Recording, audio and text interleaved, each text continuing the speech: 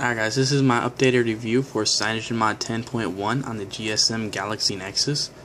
So let's go on over to settings, let's go down to about phone, and as you see this is the 1228 2012 CM 10.1 nightly for the Maguro, which is a GSM Galaxy Nexus.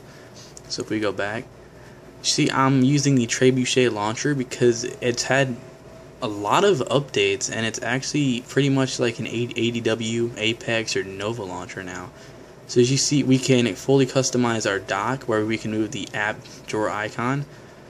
So it's not just stuck in the center like most, you know, Trebuchet launchers are on the past CM10 builds, which is pretty nice. When you long press, you get the more Android 2.3 kind of action launcher. So you see we have apps, shortcuts, widgets, actions, and wallpapers. So if we go in actions, they don't have much besides that we can just add the app icon, which of course goes into our apps. And of course on Android 4.2 you can just flick your app away. But let's go on over to the apps. This comes with the usual CM 10.1 apps, which are the Apollo Music Player, the Super User instead of Super SU. So I'm not really going to go too much into apps. But if we go on over to the widgets, you see we still have the apps which is the icon down there in the bottom right which I thought I should point out because it was kind of cool. But that's pretty much it for the Trebuchet unless we go into settings and then we go into launcher. And this is where we can customize Trebuchet. So if we go to home screen we now have more options where we can still customize our grid size the number of home screens. We can stretch them we can have the search bar. We can still resize any widgets but now we have the transition effect.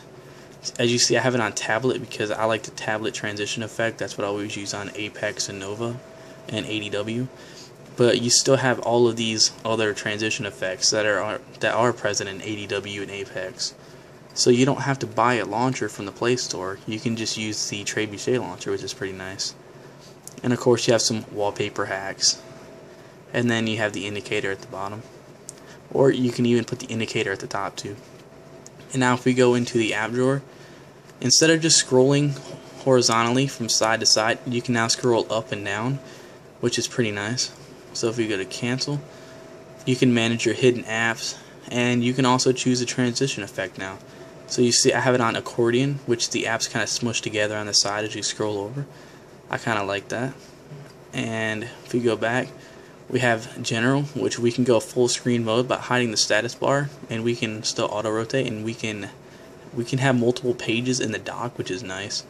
So instead of just having one dock page at the bottom, you can have say your Twitter, Google Plus, Facebook, and the app neck, and I mean in the dock next to it. Sorry, I can't talk.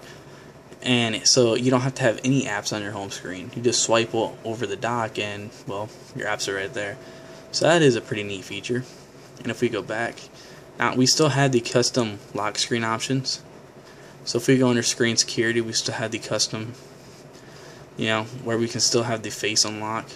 Actually, yeah, face unlock is still there. I didn't see it at the first glance. I like that we can delay the lock. So instead of it locking right away, you can have it lock after say five minute five minutes that you push the lock button. And of course, you can still mess with your slider shortcuts. Now, even though you, you have the new lock screen on 4.2, you can still add the custom shortcuts. So as you see, I have Twitter right there. But you can still unlock by going anywhere that you don't have a shortcut, which is pretty nice. And you still have access to your camera and your widgets, of course. You do have the theme manager. I was running the holidays theme for this on the longest time for the holidays. So you can still choose all of your custom themes that you have installed. And of course you have your system. So if you go into status bar, you can still mess with your clock, your brightness control, stuff like that. And actually, since I got rid of the theme, it took away my circle circle battery. If you don't know what the CM circle circle battery is, mm, that was a terrible focus, I'm sorry. It's not focusing. Alright, well, maybe you guys can see it out here my camera is not wanting to focus. Sorry about that. But you see it's just a circle battery with the percentage. I think it looks pretty nice. One thing I like about CyanogenMod is that instead of just having the quick settings you also have the notification drawer. So if I slide down from the left, I still have my custom toggles with Wi-Fi, data, GPS, sound, rotation, and a torch.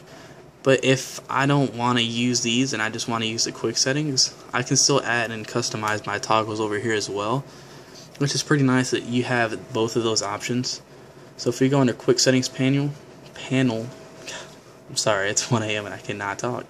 Um, you have the quick pull down where you can pull down from the right side, which is pretty nice. Auto close it, tiles, and these are just some of the like alarm clock that shows up at the bottom and stuff like that. And then you still have your notification drawer where you can change those and reorder and stuff like that. So you still have your power menu where you long press on the power button, of course. And then you still have your notification light settings where you can customize it. Kind of like AOKP a little bit. One thing to note is that I tried to mess with the vibrator feedback to kind of turn it down a little bit. I don't know if you guys can hear that through there, but if I turn it all the way up to 100, it's still the same. So that's not working right now, but I'm pretty sure they'll get it fixed. And I went in here and I changed the color values to the CM settings because I think they look nice.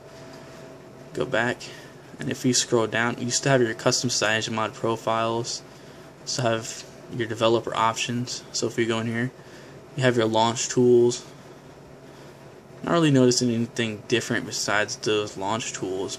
But I haven't seen those launch tools in any other developer options besides CM. So you still can't overclock it, but you can still change your kernel and stuff like that. But you see I have it on interactive because I like that kernel. It kind of has the best of performance and also, you know, like where it saves your battery a little bit. Under display is where you can enable the full 360 degrees rotation where you have your volume rocker wake as well. And then my favorite feature, you have the expanded volumes where instead of just having to press like settings and it expands, it's automatically expanded. And what I mean by that is, see the expandable, you have to press settings to expand them. You guys may like that to keep it simple, but I think that the expanded is easier to use. So if, if you want to adjust your music volume and your call volume at the same time, you can do it from right there. And then you have a dock. I kind of thought this was a neat feature since I didn't see it in any other ROM. You can play the dock insert sound. Now, I don't really know anybody who has a dock, but if you do, it's there. But that was my kind of quick look at CyanogenMod on the Galaxy Nexus. Still have all your same CyanogenMod wallpapers. The camera, I like how they, uh, actually I'll just show you guys. I like how they use the power button as the camera toggle. So if we go into settings, nope. Have they not implemented that yet? Alright, well, I guess I don't like how you can use the power key as a camera button. But that was in CyanogenMod 10. I hope that they implement that soon into 10.1 because I, I love that feature. Where when you're holding your phone like this, you can use your power key and just take pictures. I mean, that's, that's useful so you don't have to keep on clicking and holding. Because, like you can hold the phone and see the whole screen, the whole picture, I mean. It's little things in life, I'm sorry. And you still have your quick message. So if I go in here and I go to settings, go down to the bottom, you have emoji support, which is always nice. And you have your quick pop-up where if you get a message, like a little box will pop up on the screen. Kind of like how iOS had it a few I think last year or something like that. You can use a dark theme or the kind of light theme that it has going through this whole ROM. So, not really sure what else to talk about. You can't customize the navigation bar yet on this ROM, but that's going to be coming soon. That is available on the Nexus 4 though, which is pretty nice. But if you want to see, oops, if you want to see any other features of this ROM, just let me know. I'll be sure to cover in an upcoming video. But if you want to see any more ROMs, let me know in the comments below, and I will be doing more ROM reviews. I'm looking at doing a video on Kill ROM next, so if you want to see that, be sure to give it a thumbs up. And I'll see you guys in the next video.